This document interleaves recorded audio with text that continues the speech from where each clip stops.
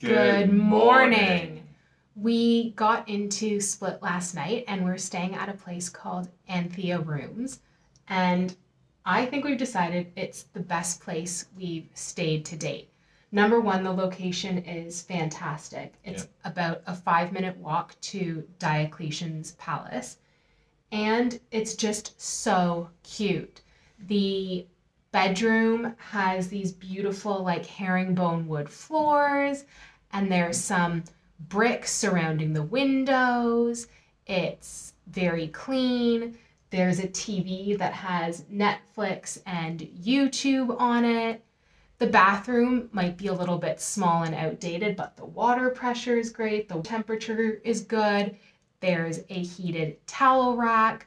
So our room is lovely. On top of that, then they have a very spacious kitchen and dining area. I believe there's three rooms on this floor, so that's entirely for the purposes of each of us. But even in the fridge, each of the shelves is divided and labeled according to the room that you're using, which is just another extra little detail that you generally don't see in many other places. So it's great news. And this room that we're in right now is a dining room. It's so sunny and beautiful. Great to have like breakfast out here. It kind of feels like you're on a patio, except for you're enclosed, so safe from the elements. hmm But we're quite looking forward to going out into the elements and checking out Split. On the way in, we just thought it was absolutely stunning, and we can't wait to share it with you.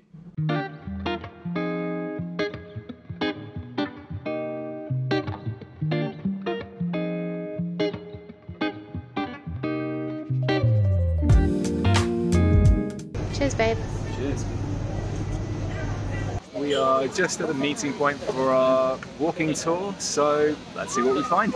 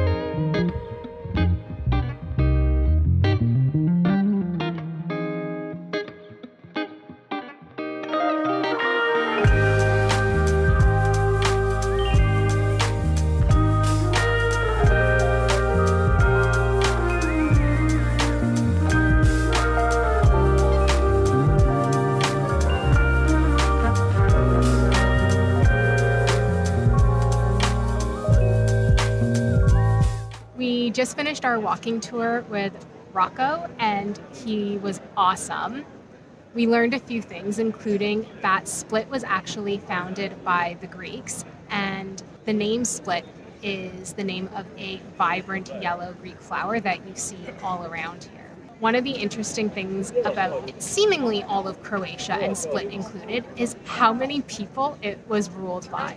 Just like in Zagreb and Zadar, it was ruled by the Romans, the Ottoman Empire, the Venetians, the Austro Hungarians, and was even part of Yugoslavia, obviously, until 1991 when it became Croatia.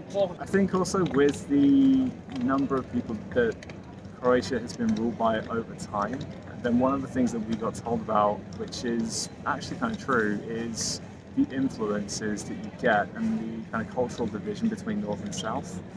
In the North, because a lot of it was really ruled by Austria and because of the proximity, then it means that actually a lot of Austrian culture has really carried over.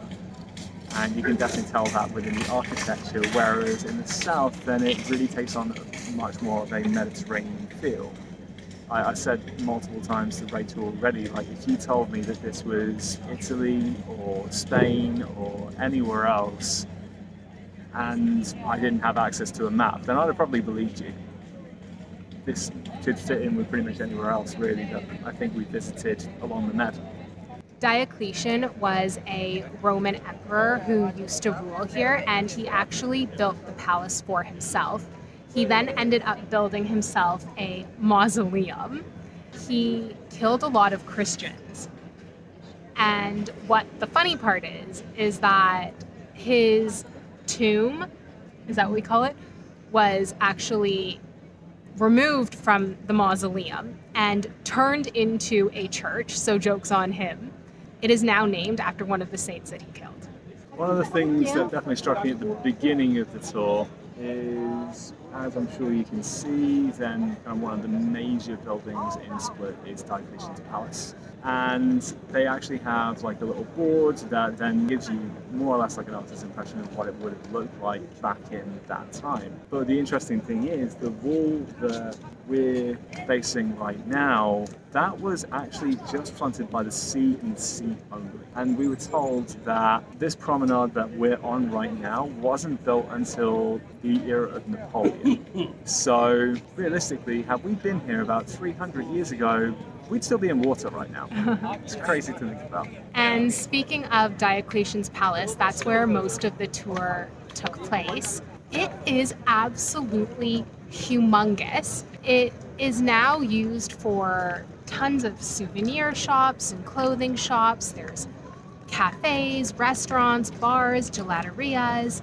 There's even people who own apartments and Airbnbs there. Diocletian's Palace is not owned nationally parts of it are just owned privately, which is kind of interesting. Yeah, you can basically just have an Airbnb right in the middle of Diocletian's Palace, which is just such a very bizarre concept. Kind of cool if you're into that sort of thing as a tourist.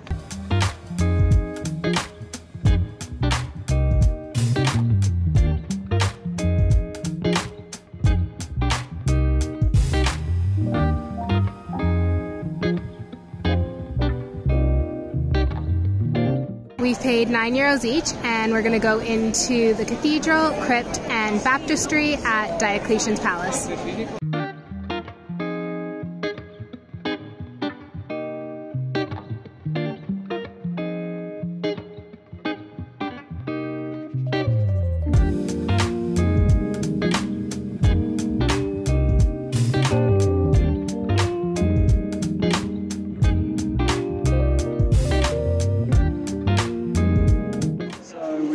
Been inside the cathedral. It is small, but very ornate.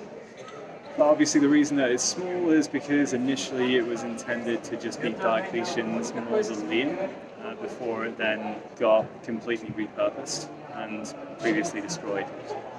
There's a part of me though that would really have loved to have known what it would have been like in its original form to see how the mausoleum would have actually been laid out. Because don't get me wrong, like the church is lovely, but um, it does feel like we've seen quite a lot of those recently. It'd be kind of nice to see some other stuff.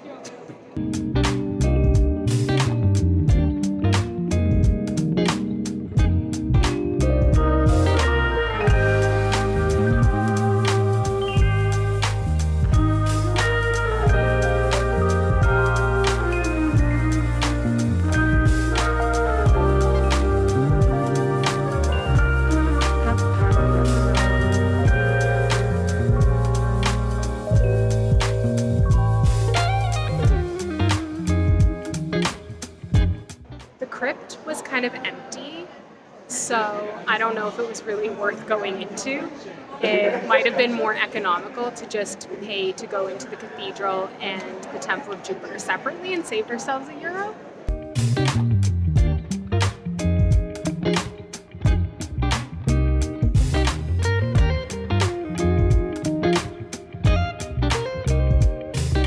I think Nick would agree with me that none of that was worth the nine euros that we spent to see the three of them. There are so many more spectacular cathedrals and baptistries and crypts that we've seen, and those were just all very small. Not to be negative, just want to save you a little bit of money. Yeah, take your 18 euros and definitely spend it somewhere else. Like get a free walking tour, free walking tour, and hear the history from the outside. Or a nice meal. That would also work.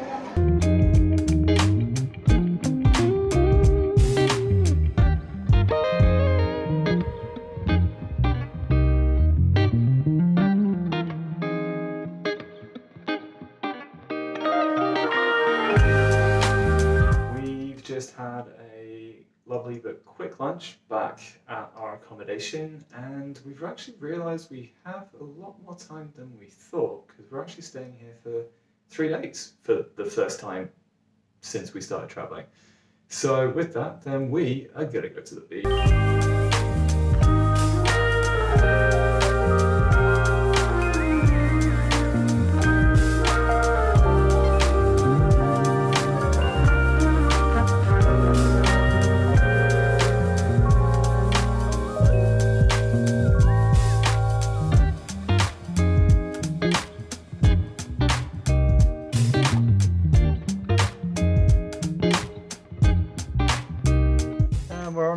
From a lovely time at the beach. Uh, we, in hindsight, probably should have taken the GoPro, but simply put, we forgot. Sorry about that. Next time, we'll bring you in the water with us. Yep. We've come back to the Peristyle at Diocletian's Palace because they have free music every night at 8 p.m. And for this occasion, we have sandwiches we made at home, nuts that we've actually had since Slovenia, beer, wine, and water because you've got to stay hydrated.